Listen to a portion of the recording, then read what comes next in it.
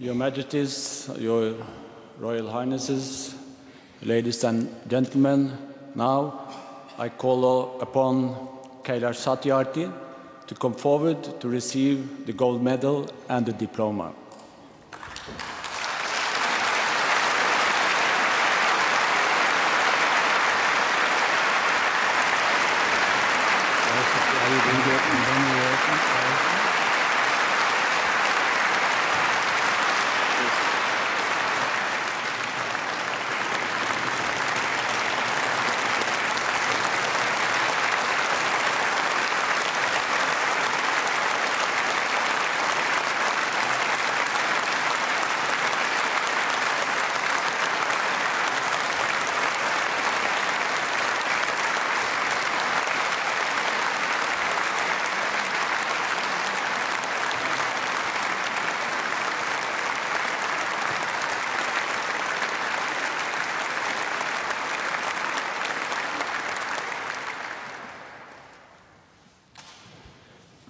And now I call upon Malala Yousafzai to come forward to receive the gold medal and the diploma. Please come forward.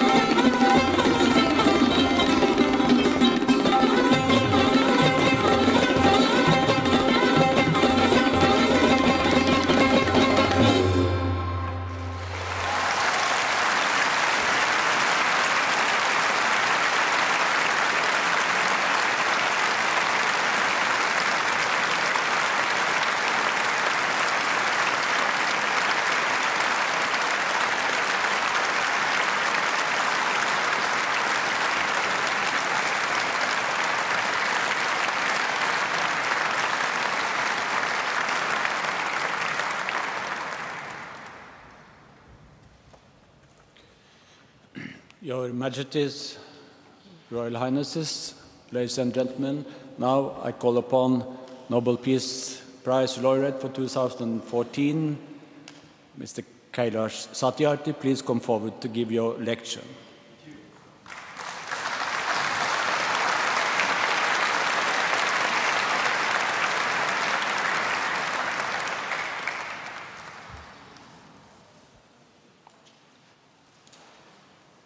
दुनिया भर के मेरे प्यारे बच्चों your royal majesties royal highnesses my dear daughter Malala excellencies dear brother Tom Harkin sisters and brothers. मैं शांति और मानवता के इस पवित्र मंच से वेद के एक मंत्र को उच्चारित करते हुए बहुत गौरवान्वित महसूस करता हूँ। इस मंत्र में एक ऐसी प्रार्थना, एक ऐसी कामना और एक ऐसा संकल्प निहित है जो विश्व को मनुष्य जनित त्रासदियों से मुक्ति दिलाने का सामर्थ्य रखती है। संगच्छध्वम संवदध्वम संवो मनांसी जानताम देवा भागम यथा पूर्वे संजानानाम उपासते। हम सभी साथ साथ चलें। आर्थिक तरक्की और विकास के रास्ते में दुनिया के दक्षिणी छोर से उत्तर तक और पूर्वी छोर से पश्चिम तक हम में से कोई भी पीछे ना रह जाए, हम में से कोई भी बिछुड़ ना पाए। हम सभी साथ साथ बोलें साथ साथ चिंतन करें और साथ मिलकर एक ऐसे ज्ञान का सृजन करें जिससे समस्त विश्व का कल्याण हो सके।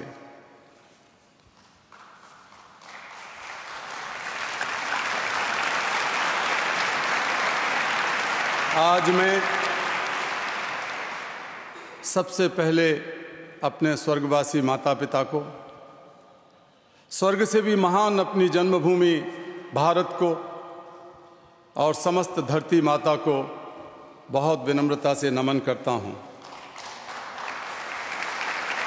मैं उन हज़ारों बच्चों को स्मरण करता हूँ, जिनको आज़ाद कराने में मैं स्वयं मुक्त होता रहा हूँ। मुक्ति की पहली मुस्कुराहट में मैंने बार बार, हर बार उनके चेहरों पर ईश्वर को मुस्कुराते हुए देखा है।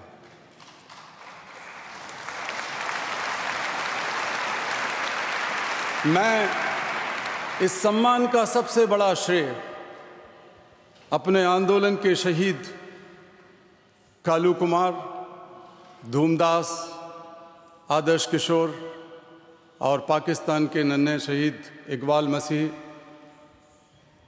और ऐसे तमाम लोगों को देना चाहता हूँ जिन्होंने बच्चों का बचपन लौटाने के लिए हँसते हँसते अपना सर्वोच्च बलिदान कर दिया। मैं आज उन सभी लोगों की तरफ़ से। दुनिया भर में बच्चों को आज़ादी और शिक्षा दिलाने में लगे तमाम कार्यकर्ताओं की तरफ़ से और मेरे समस्त देशवासी बहनों और भाइयों की ओर से बहुत विनम्रता से ये स्वीकार, आपका यह पुरस्कार स्वीकार करता हूँ।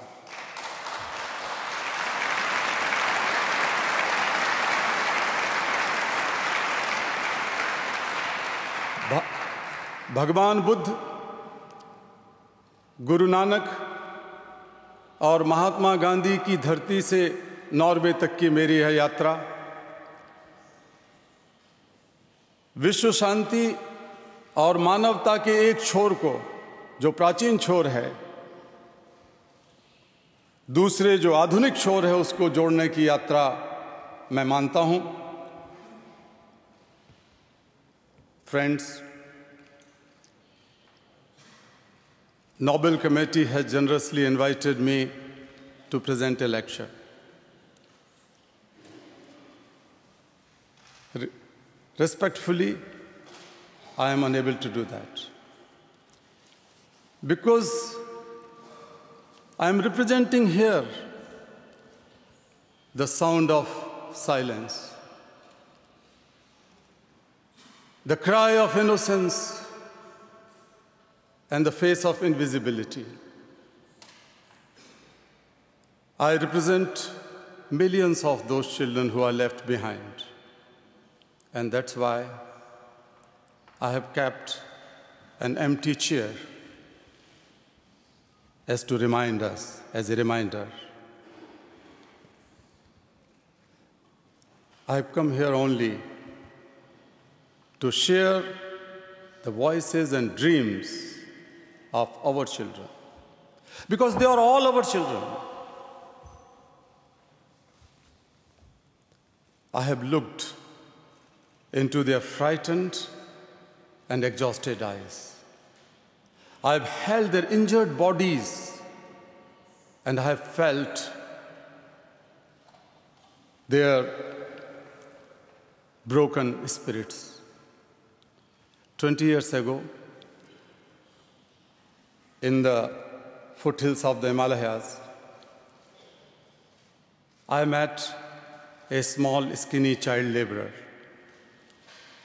He asked me, Is the world so poor that it cannot give me a toy and a book?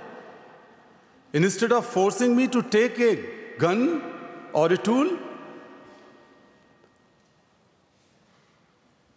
I met a Sudanese child soldier. He was kidnapped by an extremist militia. As his first lesson, he was forced to kill his friends and family. He asked me, What is my fault? Twelve years ago, a child mother from the streets of Colombia, trafficked, enslaved, raped, asked me this I've never had a dream. Can my child have one? Friends, all the great religions teach us to care for our children. Jesus said, Let the children come to me. Do not hinder them, for the kingdom of God belongs to them. Holy Quran says, Kill not your children because of poverty.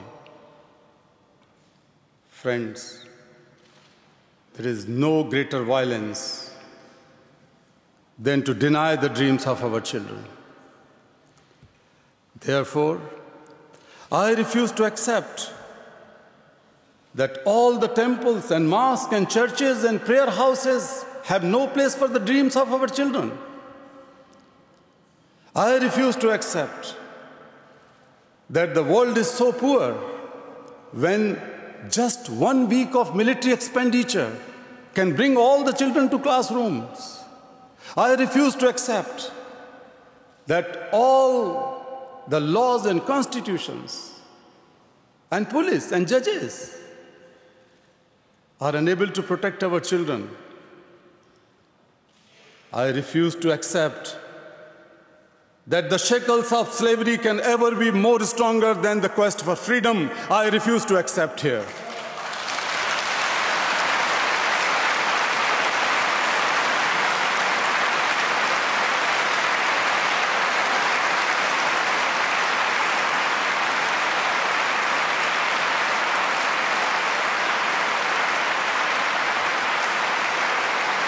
My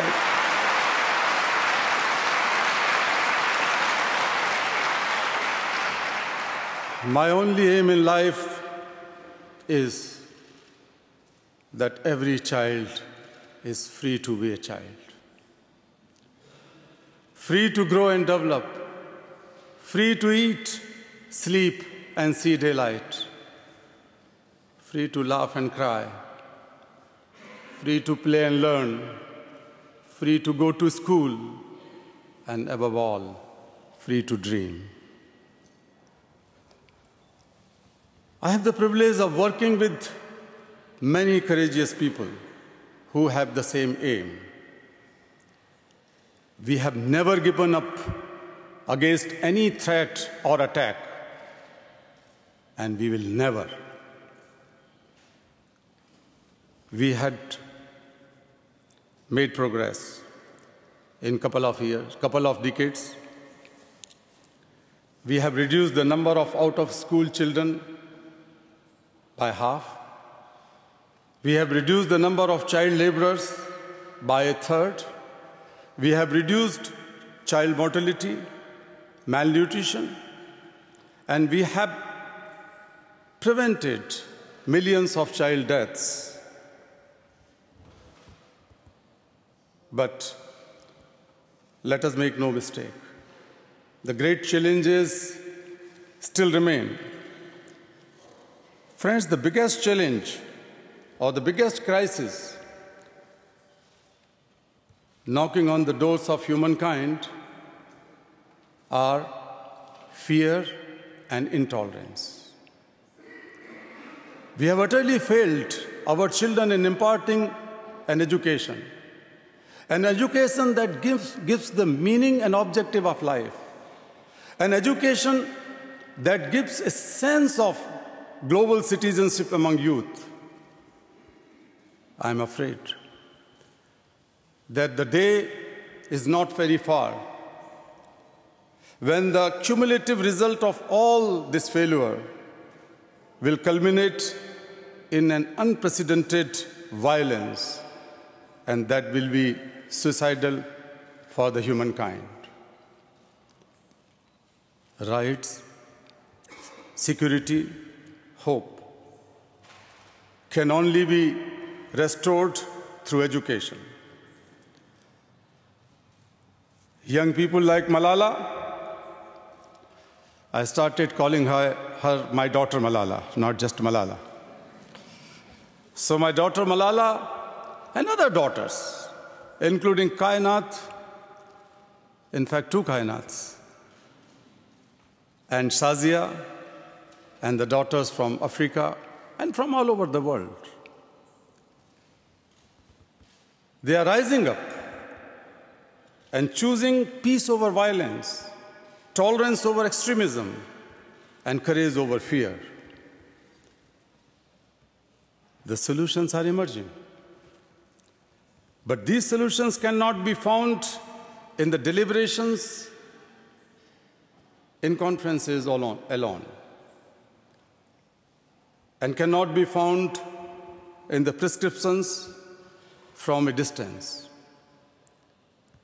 They lie in small groups and local organizations and individuals who are confronting the, with the problems every day.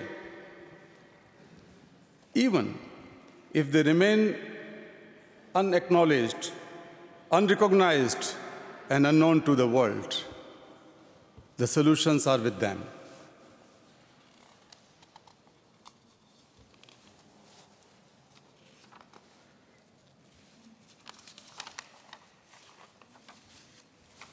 Friends, what is missing now? Of course, my paper is missing. but, uh, yeah, no problem. I will continue with, without that. Uh, we can do it.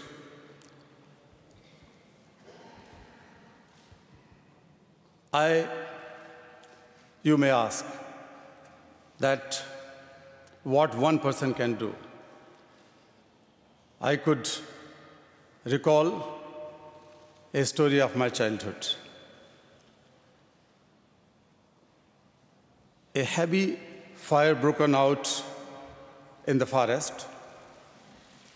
Thank you so much. I don't know whether it has happened with uh, some Nobel laureate before or not, but many things are happening today.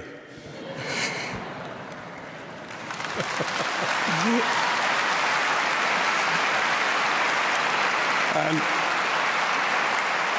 and, and, the, and the best thing happened that uh, a young, courageous Pakistani girl has met an Indian father, and the Indian father met the Pakistani daughter. So I was, I was telling you the story of my child, uh, what I remember from my childhood. A heavy fire broken out in jungle, in forest. Everybody was running away, including lion, the king of forest. Suddenly he saw, a, he saw a bird rushing straight to the fire. He asked the bird, What are you doing? Bird said, I am going to extinguish the fire. Lion laughed and said, How can you do it? Keeping just one drop of water in your beak? But the bird was adamant. She said, I am doing my bit.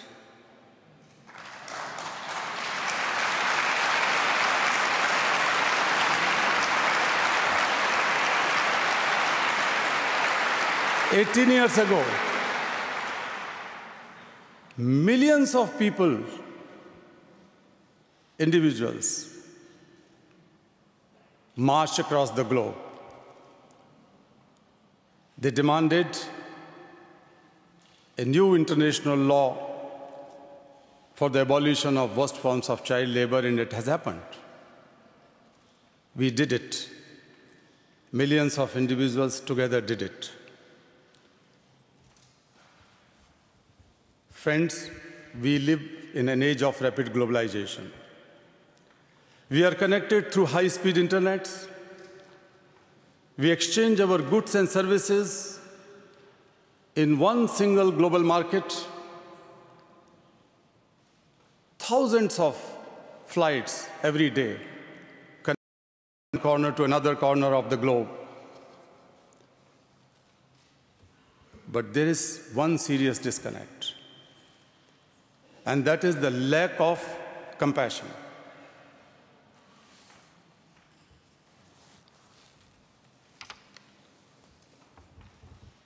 Let us inculcate and transform the individual's compassion into global compassion. Let us globalize compassion.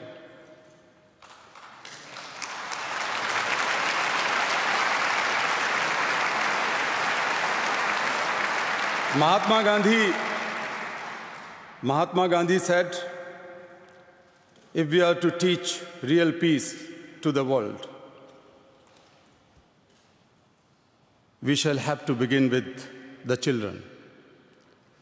I humbly add, let us unite the world through the compassion for our children.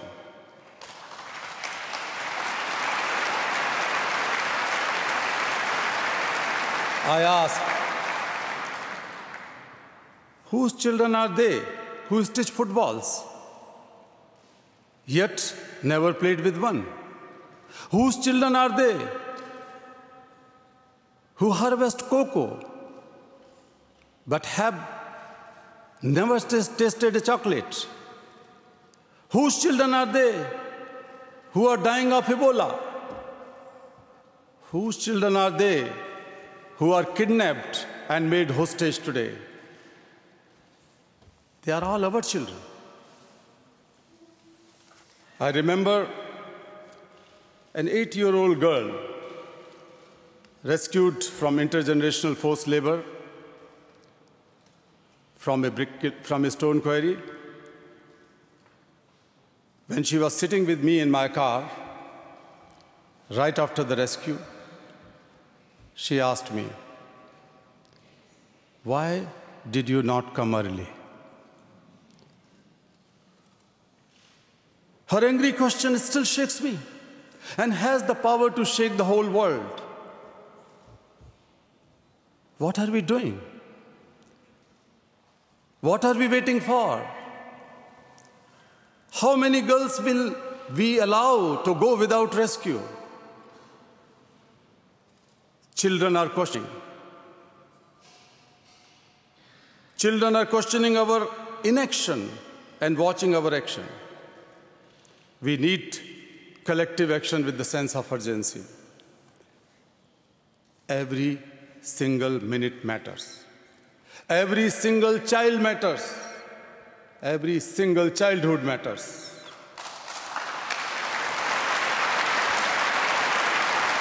Therefore,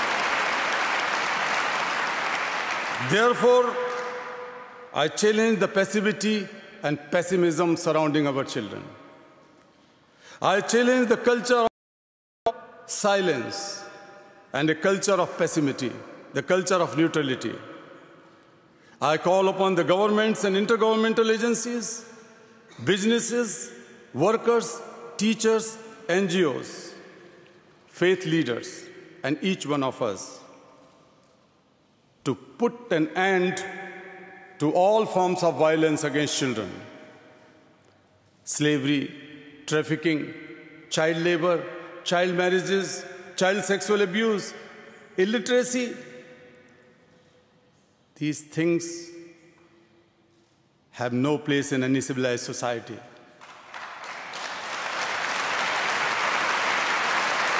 Friends, friends, we can do this. Governments must make child friendly policies and invest in education and young people.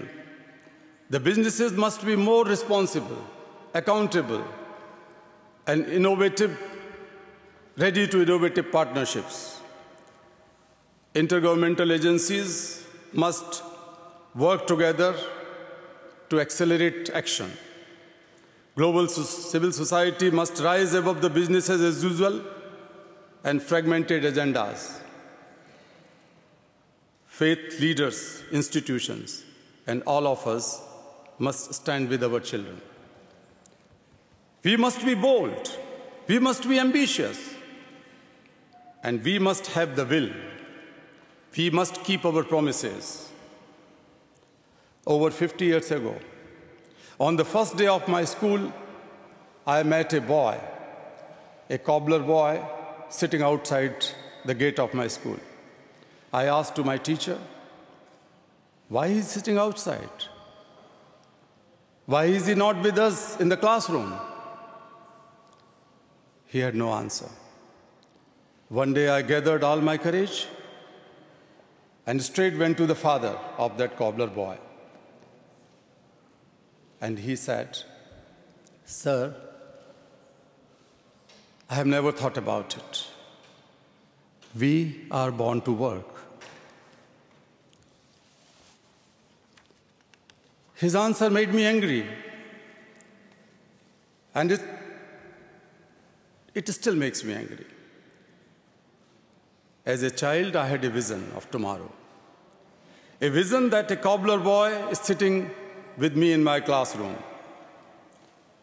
Now, the tomorrow has become today. I am today. You are today. Today is the time for every child to have the right to life, right to freedom, right to health, right to education, right to safety, right to dignity, right to equality, and right to peace.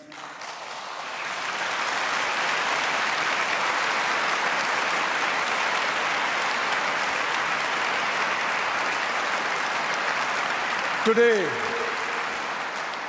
today beyond the darkness, I see the smiling faces of children in blinking stars. Today, in every wave of every ocean, I see my children are playing and dancing. Today, in every plant, in every tree, in every mountain, I see children are growing freely with dignity. Friends,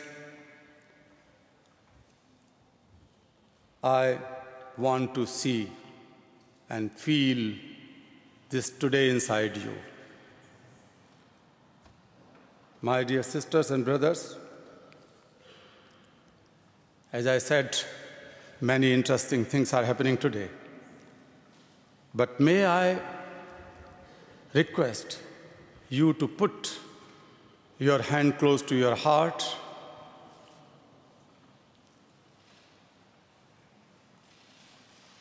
Close your eyes and feel the child inside you.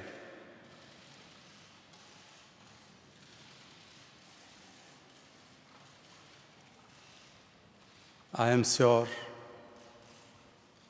you can. Listen to that child. Listen, please.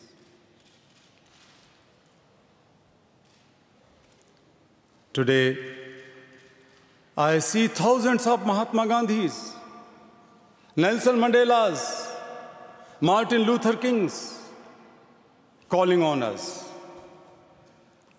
Let us democratize knowledge. Let us universalize justice. Together, let us globalize compassion. I call upon you in this room and all across the world I call for a march from exploitation to education. I call for a march from poverty to shared prosperity, a march from slavery to liberty, and a march from violence to peace. Ma sadgamay,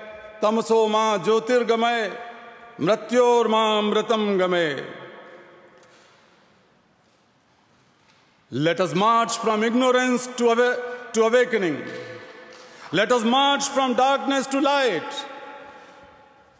Let us march from mortality to divinity. Let us march.